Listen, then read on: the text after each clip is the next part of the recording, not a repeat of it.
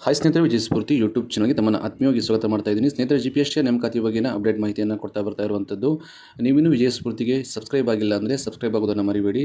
ಇವತ್ತಿನ ವಿಡಿಯೋದಲ್ಲಿ ನಾನು ಜಿ ಪಿ ಎಸ್ ಟಿ ನೇಮಕಾತಿಯ ಉಡುಪಿ ಜಿಲ್ಲೆಗೆ ಸಂಬಂಧಪಟ್ಟಂತಹ ಅಭ್ಯರ್ಥಿಗಳ ಪೊಲೀಸ್ ವೆರಿಫಿಕೇಷನ್ ಮತ್ತು ವೈದ್ಯಕೀಯ ಪ್ರಮಾಣಪತ್ರ ಜೊತೆಗೆ ಗ್ರಾಮೀಣ ಸಿಂಧುತ್ವ ಅಂಗವಿಕಲರ ಏನು ಸಿಂಧುತ್ವ ಸಂಬಂಧಪಟ್ಟಂಥ ಲೆಟರ್ ಡಿ ಡಿ ಪಿ ಕಚೇರಿಯಿಂದ ಸಂಬಂಧಪಟ್ಟಂತಹ ಜಿಲ್ಲಾ ಪ್ರಾಧಿಕಾರಕ್ಕೆ ಸಲ್ಲಿಕೆಯಾಗಿದೆ. ಅಂದರೆ ಪೊಲೀಸ್ ವೆರಿಫಿಕೇಷನ್ ಸಂಬಂಧಪಟ್ಟಂತೆ ನಿಮ್ಮ ಜಿಲ್ಲೆಯ ಎಸ್ ಪಿ ಕಚೇರಿಗೆ ಪತ್ರ ರವಾನೆಯಾಗಿದೆ. ಇವತ್ತು ಸಮಾಜ ವಿಜ್ಞಾನದ್ದು ಮನೆಯೇ ಆಗಿತ್ತು. ಸಾರಿ ಸಮಾಜ ವಿಜ್ಞಾನದ್ದು ಇವತ್ತಾಗಿದೆ. ವಿಜ್ಞಾನ ಮತ್ತು ಗಣಿತ ಏನಿದೆ ಅದು ಮನೆಯೇ ಆಗಿತ್ತು ಉಳಿದೆಲ್ಲ ನಾಲ್ಕು ದಿನ ಹಿಂದೆ ಆಗಿದೆ. ಟೋ, ಟೋಟಲ್ ಆಗಿ ಎಲ್ಲ ಸಬ್ಜೆಕ್ಟ್ಗಳ ಪೊಲೀಸ್ ವೆರಿಫಿಕೇಷನ್ ಲೆಟರ್ ಸೆಂಡ್ ಆಗಿದೆ ಡಿ ಡಿ ಬಿ ಕಚೇರಿಯಿಂದ. ಜೊತೆಗೆ ವೈದ್ಯಕೀಯ ಪ್ರಮಾಣ ಪತ್ರವನ್ನು ಮಾಡಿಸ್ಕೊಳ್ಳಿಕ್ಕೆ ನಿಮ್ಮ ನಿಮ್ಮ ನಿಮ್ಮ ಅಡ್ರೆಸ್ ಏನಿದೆ, ಆ ಅಡ್ರೆಸ್ನ ಡಿ ಡಿ ಪಿ ಸಾರಿ ಜಿಲ್ಲಾ ವೈದ್ಯಾಧಿಕಾರಿಗಳ ಕಚೇರಿಗೆ ಲೆಟರ್ ಸೆಂಡ್ ಆಗಿದೆ. ಅಲ್ಲಿಂದ ನಿಮಗೆ ಕರೆ ಬರುತ್ತೆ ಮತ್ತು ಪೊಲೀಸ್ ಸ್ಟೇಷನ್ ಕಡೆಯಿಂದ ನಿಮಗೂ ಸಹ ಕರೆ ಬರುತ್ತೆ. ಇನ್ನು ಗ್ರಾಮೀಣ ಸಿಂಧುತ್ವ, ಅದಕ್ಕೆ ಸಂಬಂಧಪಟ್ಟಂತೆ ಸಹ ಇನ್ನು ಗ್ರಾಮೀಣ ಅಭ್ಯರ್ಥಿಗಳು ಏನು ಆಯ್ಕೆಯಾಗಿದ್ದಾರೆ ಗ್ರಾಮೀಣ ವಿಷಯದಲ್ಲಿ ಸೊ ನಿಮ್ಮ ಗ್ರಾಮೀಣ ಸಿಂಧುತ್ವ, ನೀವು ಕನ್ನಡ ಮಾಧ್ಯಮದಲ್ಲಿ ಆಯ್ಕೆಯಿದ್ದರೆ ಕನ್ನಡ ಮಾಧ್ಯಮ ಸಿಂಧುತ್ವ ಸಹ ಲೆಟರ್ ಸೆಂಡ್ ಆಗಿದೆ. ನಿಮ್ಮ ಕ್ಷೇತ್ರ ಶಿಕ್ಷಣಾಧಿಕಾರಿಗಳ ಕಚೇರಿಗೆ. ನೀವು ಉಡುಪಿ ಜಿಲ್ಲೆಯವರು ಅಲ್ಲದೆ ಇದ್ದರೆ ಬೇರೆ ಜಿಲ್ಲೆಯವರಾಗಿದ್ದರೆ ನಿಮ್ಮ ಡಿ ಡಿ ಪಿ ಕಚೇರಿಗೆ ಸೆಂಡ್ ಆಗಿದೆ. ಅಲ್ಲಿಂದ ವಾಪಸ್ ಎಸ್ ಪಿ ಕಚೇರಿ ನಿಮ್ಮ ಇದು ಬಿ ಒ ಕಚೇರಿ ಸೆಂಡ್ ಆಗುತ್ತೆ. ಅಲ್ಲಿಂದ ಬಿ ಒ ಕಚೇರಿಯಿಂದ ಸಿಂಧುತ್ವ ಮಾಡಿಸಿ ಲೆಟ್ರ್ ಕಳಿಸ್ತಾರೆ. ಜೊತೆಗೆ ಯಾರು ಅಂಗವಿಕಲ ಅಭ್ಯರ್ಥಿಗಳಿದ್ದೀರಾ, ಅಂಗವಿಕಲ ಅಭ್ಯರ್ಥಿಗಳು ಸಹ ನಿಮ್ಮ ಜಿಲ್ಲಾ ಜಿಲ್ಲಾ ವೈದ್ಯಾಧಿಕಾರಿಗಳ ಕಚೇರಿಗೆ ಲೆಟರ್ ರವಾನೆಯಾಗಿರುವಂಥದ್ದು ನಿಮ್ಮ ಜಿಲ್ಲಾ ಜಿಲ್ಲಾ ವೈದ್ಯಾಧಿಕಾರಿ ಕಚೇರಿಯಲ್ಲಿ ನಿಮ್ಮ ಅಂಗವಿಕಲರ ಏನು ಸರ್ಟಿಫಿಕೇಟ್ ಸಂಬಂಧಪಟ್ಟಂತಹ ಸಿಂಧುತ್ವ ಅಲ್ಲಿ ಆಗುತ್ತೆ. ಸೊ ಅದಕ್ಕೆ ಸಂಬಂಧಪಟ್ಟಂತೆ ನಿಮ್ಮ ಜಿಲ್ಲಾ ಜಿಲ್ಲಾ ವೈದ್ಯಾಧಿಕಾರಿಗಳ ಕಚೇರಿಗೆ ಲೆಟರ್ ರವಾನೆಯಾಗಿರುತ್ತದೆ. ಇನ್ನು ಸಿಂಧುತ್ವವನ್ನು ಹೊರತುಪಡಿಸಿ, ಅಂದರೆ ಜಾತಿಯಲ್ಲಿ ಆಯ್ಕೆಯಾಗಿರುವಂಥ ಅಭ್ಯರ್ಥಿಗಳ ಸಿಂಧುತ್ವವನ್ನು ಹೊರತುಪಡಿಸಿ ಮತ್ತೆಲ್ಲ ಆಗಿದೆ ಅಂತ ಭಾವಿಸ್ತೀನಿ. ಇನ್ನು ಯೋಜನೆ ನಿರಾಶ್ರಿತ, ಜಾತಿಯಲ್ಲಿ ಆಯ್ಕೆಯಾಗಿದ್ದವ್ರದ್ದು ಲೆಟ್ರ್ ಮಾತ್ರ ಸೆಂಡ್ ಆಗಿಲ್ಲ ಅನಿಸುತ್ತೆ. ಮತ್ತೆಲ್ಲ ಏನು ಪ್ರೈಮರಿಯಾಗಿ ಏನಾಗಬೇಕು? ಪೊಲೀಸ್ ವೆರಿಫಿಕೇಷನ್ನು ಮೆಡಿಕಲ್ಲು ಅದು ಸೆಂಡ್ ಆಗಿದೆ. ಕನ್ನಡ ಮಾಧ್ಯಮ ರೂರಲ್ಲು ಅದು ಸೆಂಡ್ ಆಗಿದೆ.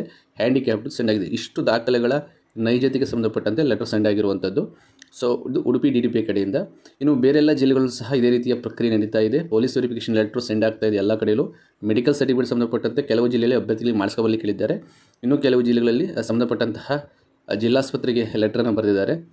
ಇನ್ನು ಕೆಲವು ಜಿಲ್, ಜಿಲ್ಲೆಯ ಡಿ ಡಿ ಪಿ ಕಚೇರಿಯಲ್ಲಿ ಒಂದು ಫಾರ್ಮೇಟನ್ನು ಕೊಟ್ಟಿರ್ತಾರೆ. ಆ ಫಾರ್ಮೇಟನ್ನು ನೀವೇ ಫಿಲಪ್ ಮಾಡಿಕೊಂಡು, ನೀವು ನಿಮ್ಮ ಜಿಲ್ಲಾಸ್ಪತ್ರೆಗೆ ಹೋಗಿ ಏನು ಆ ಫಾರ್ಮ ಫಿಲ್ ಮಾಡಿಕೊಂಡು, ಅಂದರೆ ನಿಮ್ಮ ಫಿಟ್ನೆಸ್ ಸರ್ಟಿಫಿಕೇಟ್ ತಗೊಂಡು ನೀವು ವಾಪಸ್ಸು ಡಿ ಡಿ ಪಿ ಕಚೇರಿ ಸಲ್ಲಿಸಲಿಕ್ಕೆ ಹೇಳಿದ್ದಾರೆ.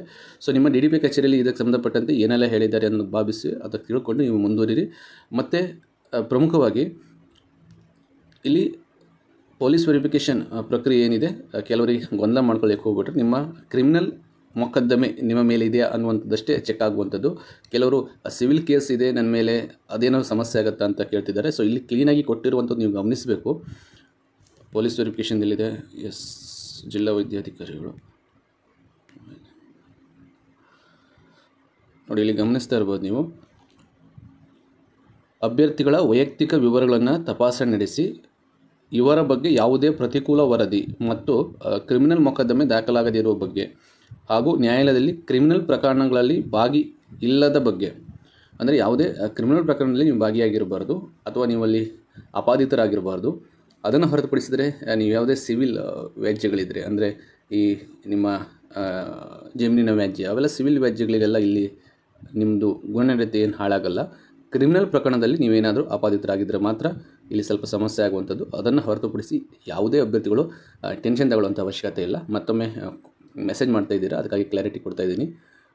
ಜೊತೆಗೆ ಹೆಚ್ಚು ಕಡಿಮೆ ಎಲ್ಲ ಜಿಲ್ಲೆಯದು ಪೊಲೀಸ್ ವೆರಿಫಿಕೇಷನ್ ಲೆಟರ್ ಸೆಂಡ್ ಆಗಿದೆ. ಒಂದು ವೇಳೆ ಯಾವುದಾದ್ರೂ ಜಿಲ್ಲೆಯದು ಇನ್ನೂ ಸೆಂಡ್ ಆಗಿಲ್ಲ ಅಂತಂದರೆ ನೀವು ನಿಮ್ಮ ಡಿ ಡಿ ಪಿ ಮೇಲೆ ಒತ್ತಡವನ್ನು ಹೇರಲೇಬೇಕು. ಯಾಕಂದರೆ ಆಲ್ಮೋಸ್ಟ್ ನನಗೆ ತಿಳಿದು ಬರುವಂತೆ ಆಲ್ಮೋಸ್ಟ್ ಎಲ್ಲ ಜಿಲ್ಲೆಯದು ಪೊಲೀಸ್ ವೆರಿಫಿಕೇಷನ್ ಕಂಪ್ಲೀಟ್ ಆಗಿದೆ. ಸಿಂಧುತ್ವಕ್ಕೆ ಸಂಬಂಧಪಟ್ಟಂತೆ ಈಗ ಲೆಟರ್ಗಳು ಹೋಗ್ತಾ ಇದೆ. ಇನ್ನು ವೈದ್ಯಕೀಯ ಪ್ರಮಾಣ ಸಹ ಕೆಲವೊಂದು ಜಿಲ್ಲೆಯಲ್ಲಿ ಕಳಿಸಿದ್ದಾರೆ. ಕೆಲವೊಂದು ಜಿಲ್ಲೆಯಲ್ಲಿ ಅಭ್ಯರ್ಥಿಗೆ ಮಾಡಿಸ್ಕೋಬಲಿಕ್ಕೆ ಹೇಳಿದ್ದಾರೆ. ಇನ್ನು ಕೆಲವೊಂದು ಜಿಲ್ಲೆಯಲ್ಲಿ ನಾವು ಕೊನೆಯಲ್ಲಿ ಹೇಳ್ತೀವಿ ಅನ್ನುವಂಥ ಮಾತನ್ನು ಹೇಳಿದ್ದಾರೆ. ಸೊ ಸಿಂಧುತ್ವಕ್ಕೆ ಸಂಬಂಧಪಟ್ಟಂತೆ ಲೆಟ್ರುಗಳು ಈಗ ಕೆಲವೊಂದಿಷ್ಟು ಜಿಲ್ಲೆಗಳು ರೆಡಿ ಆಗ್ತಾ ಇದೆ. ಯಾವ ಜಿಲ್ಲೆಯಲ್ಲಿ ನೀವು ಪೊಲೀಸ್ ವೆರಿಫಿಕೇಷನ್ ಮುಗಿದಿಲ್ಲ. ನೀವು ಡಿ ಕಚೇರಿ ಮೇಲೆ ಒತ್ತಡವನ್ನು ಹಾಕಲೇಬೇಕು ಅಂತ ಹೇಳ್ತಾ ವಿಡಿಯೋನ ಇಲ್ಲಿಯೇ ಮುಗಿಸ್ತಾ ಇದ್ದೀನಿ. ವಿಡಿಯೋನ ವಾಚ್ ಮಾಡೋದಕ್ಕಾಗಿ ಧನ್ಯವಾದಗಳು.